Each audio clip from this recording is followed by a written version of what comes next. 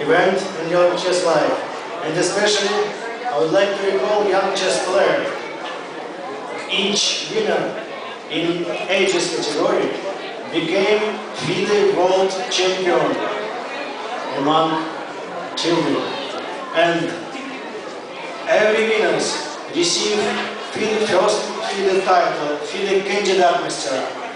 And everybody will be invited players in the World Youth Championship in Turkey this year. I would like to give you more chance in chess life. So, World School Chess Championship, the play is open.